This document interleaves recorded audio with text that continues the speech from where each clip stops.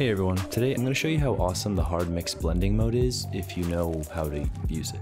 You see, right out of the box, if you've ever tried to apply it to anything, you probably threw up in your mouth and then proceeded to quickly choose another blending mode from the list. But once you learn what hard mix is actually doing, you'll see that we can use it to make some pretty awesome stuff, like easily customizable dissolve transitions and responsive texturing like this halftone comic book style. So let's just get started with really quickly breaking down what hard mix does.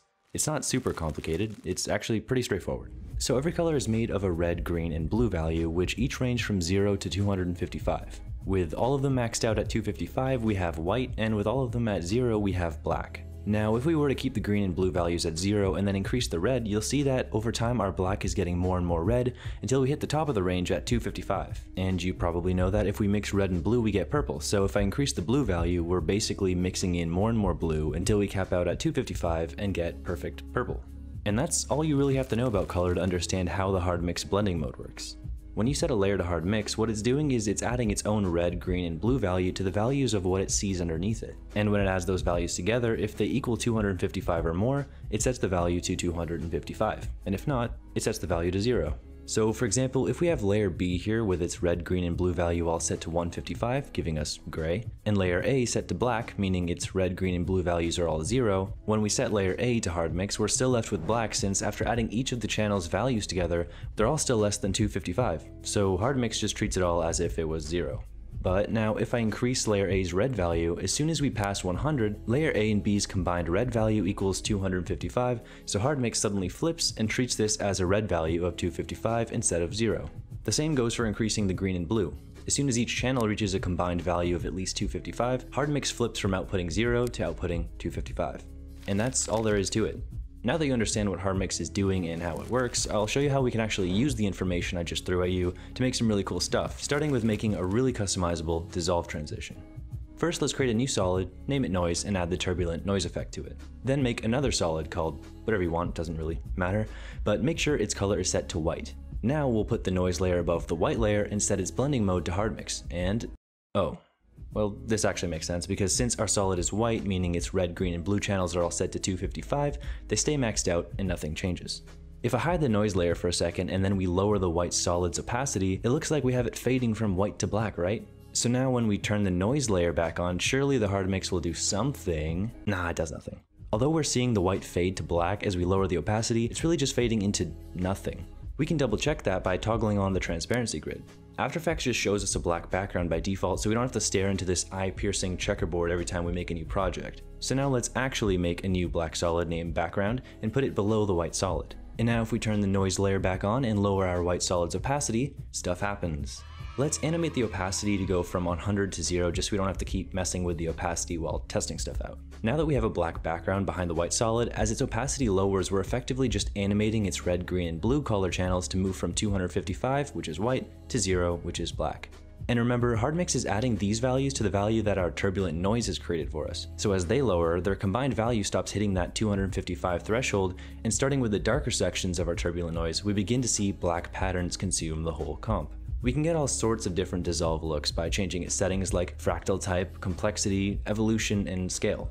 Now let's try applying our cool dissolve to a text layer. To do that, select our layers, pre-compose them, and call it dissolve. Then create a text layer, place it above our dissolve, and set the dissolve's track matte to alpha matte. Hey, we did it! Well, not quite. If we add any other layer underneath, we can see that our text is just transitioning from white to black. So what we need to do is find a way to make everything that's black on our dissolve layer transparent and keep everything that's white.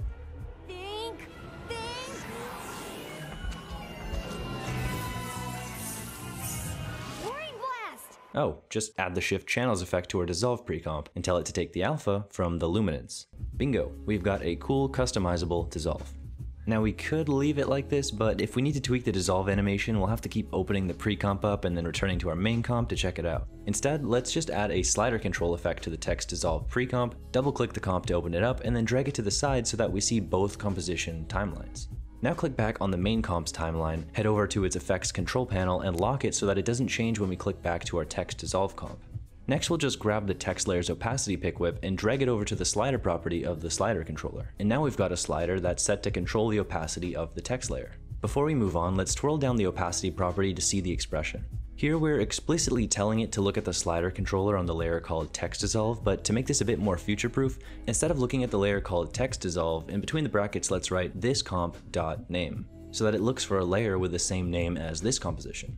This doesn't change anything for us now, but if we ever want to make more text dissolve layers, we can go over to the project panel and with the text dissolve comp selected, hit Ctrl or Command D to duplicate it, then drag the new copy into your composition. By duplicating it in the project panel, we create a new instance of it and we can change the text without affecting our other text dissolves. But you will have to copy our shift channels and slider control effects to our new text dissolve pre-comp though. But after doing that, we're good to go. Our new text dissolve slider works without us having to change anything else. We can also take our dissolve in another direction by heading into one of our dissolve comps, hiding our noise layer for a sec, and then disabling our opacity expression by clicking this icon. Now what we'll do is add the gradient ramp effect to it, so we've got a nice clean black to white gradient. The default settings are perfect. Next I'll add the CC Repetile effect to it, and what I want to do is expand the bottom by the height of our comp, which for me is 1080. After that, what you'll want to do is change the tiling mode from repeat to slide, which just takes the edge we're expanding and stretches its last row or column of pixels by however much we expand it by. If I grab the layer and move it up, you can see what we've done is just extended the last row of white pixels all the way down. Now let's just unhide our noise layer and we've already got a really cool textured wipe. All you have to do is animate the white layer's position up or down and of course just like before we can customize the noise for different looks. If we want to give it the same treatment as the previous dissolve, we can copy the expression from the opacity and apply it to the position's Y value by Alt or Option clicking the position stopwatch and typing open square brackets value 0, comma, then we'll paste the opacity expression and end it with closing square brackets. This just means the x value should stay the same and the y value can be controlled by the slider in our main comp. We can apply this to whatever we want the same way we did with the first dissolve, so I don't need to go over that again. But something else fun that we can do is give our wipe some layers.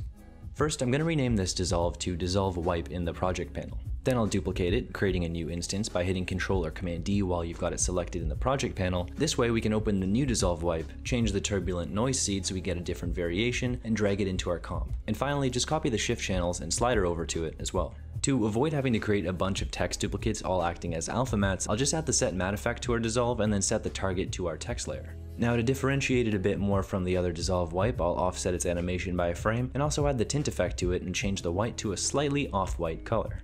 From here we can repeat this dissolve wipe layering as much as we want to get a more complicated and interesting wipe like this one.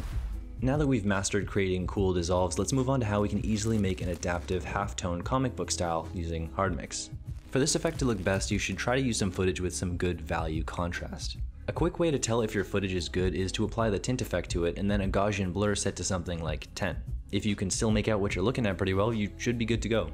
But if you happen to be using footage that isn't the best, you can try playing around with the curves or levels effect to get more contrast in, and if you want to get even more specific with it, you can apply adjustments to specific parts of your footage that need help by creating a mask around what you want to affect, double clicking the adjustment, and then clicking the plus in the compositing options to make the mask an effect mask.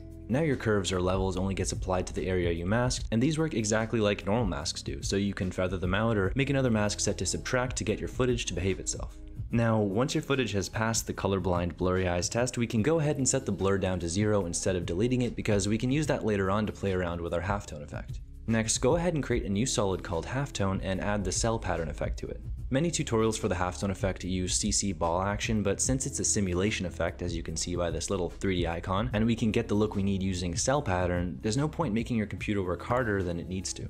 To get cell pattern to look how we want, first invert the effect, set the disperse down to 0, size to 10, and to help define each ball a little more, set the contrast to 200. These dots are looking pretty close to what we'll need for this effect, but for a cleaner look, I want the white grid lines to be a bit brighter and the dots to have a bit more fall off. To get finer control over our dots, we'll add the levels effect to it. All we're going to do is grab the input white handle and drag it to the halfway point to make our whites brighter, and then grab the gamma handle and move it a little bit to the left to shrink our dots a bit and add some slight gray fall off to each one. Now, halftone dots are usually placed on a diagonal grid, so to mimic that, we're just going to hit R and then set our rotation to 45 degrees. Then to get the rest of our frame covered, just head over to Layer, Solid Settings, and expand the width and height until our dots fill the whole frame. And now finally, we can head over and change our blending mode to Hard Mix. Chances are yours looks pretty bad, but not terrible, so let's tweak it. Something you might notice if you zoom in is that you'll have some harsh blocky dots and maybe even a lot of lines connecting the dots. We can make this look a lot better by adding a Gaussian blur set to about 3. Suddenly we have less blocky shapes and more organic circular ones. Next, we can soften it up even more by reducing the fill of the hard mix blending mode. You may or may not know from working with Photoshop, but a layer has both a fill and an opacity. And some blending modes, 8 to be exact, can be softened by controlling the fill. Now this is different than just lowering the opacity because that just makes the layer more or less transparent. The fill controls the intensity of the 8 special blending modes. And believe it or not, we can control the fill in After Effects as well. It's just hidden away. To get to it, we need to right click our halftone layer, choose layer styles, and then select any of them. Doing that gives us access to our layer styles blending options, but we don't actually need whichever layer style we selected a second ago, so go ahead and just hide whichever one we chose and twirl down our layer styles blending options. From here, we're going to open up advanced blending and then we can see the fill opacity. If I lower this, you can see that the intensity of our hard mix gets weaker and weaker. If I were to just lower the layer's opacity instead, you'll see that it just makes the layer more transparent. So back to our fill, I'll just soften it up a little bit by setting it to 95%. The last thing we need to do is add a levels effect to our footage layer and place it above the Gaussian blur. Using this levels, we can control the look of our halftone effect. By dragging the input white down, we make our whites brighter and effectively shrink the dots on the bright areas. If we bring up our input black, we make our black areas darker, which make the black dots in those areas bigger. And we can play with the gamma handle too if we really want to dial our look in. Also, if you're getting harsh lines that you don't really want in areas with a lot of contrast, you can soften them by increasing the Gaussian blur on our footage layer. And don't forget, we can also always head back to our halftone layer and change the size of the dots of the cell pattern effect itself. Last but not least, if you want to stylize your effect a bit, create a new adjustment layer, call it Style Points, and add the tint effect. Then just add some saturation to your white and black. I'll add some blue to the black and some yellow to the white, and that's about it. Hopefully this video helped you understand how the hard mix blending mode works and also gave you some ideas of what it can be used for. I really recommend opening up After Effects and playing around and trying to come up with another way you can use hard mix that I didn't show you. That way you'll get some practice in, cement the knowledge a little bit more, and hopefully discover something really cool that you can share with me and everyone else in the comments. If you're new to the channel and you've learned something, I think you should give me another shot and check out one of my other videos. And if you learned something in that one too, then I think it's fair that I ask for something in return. Let's say either you subscribe or hand me your firstborn child or whatever. You know, either one. I'm not I'm not fussed.